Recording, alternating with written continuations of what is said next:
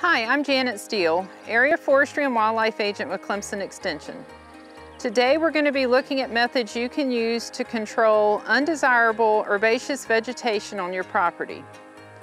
A broadcast foliar herbicide using a chemical that is labeled to treat the vegetation you're trying to control can effectively be done with a backpack sprayer if the vegetation is below head height. If the vegetation is too tall, you can mow the area before you spray it, but just make sure you do this prior to seed fall so that you're not adding additional seed back into the seed bed and causing the undesirable plants to spread. Also, give the vegetation sufficient time to resprout before you make the chemical application.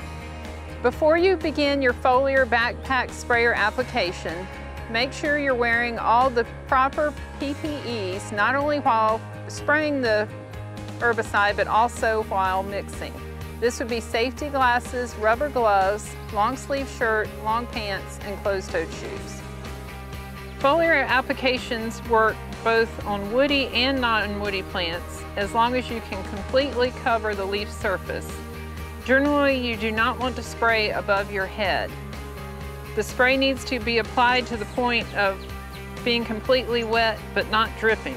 If possible, when applying a broadcast foliar herbicide, try to walk backwards out of the treatment area instead of walking into the treatment area to help reduce your exposure to the herbicide.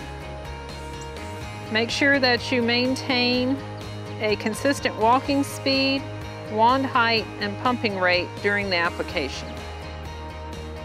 Just a few reminders before you begin doing foliar herbicide applications on your property. Always follow the herbicide label, not only for concentration rate for the herbicide to apply, but also the timing of the year for the application method and the proper PPEs.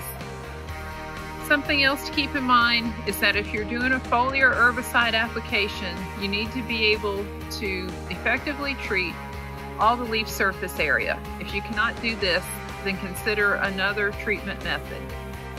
As always, if you need assistance or recommendations, please contact your Forestry and Natural Resources team member at your county Clemson Extension office.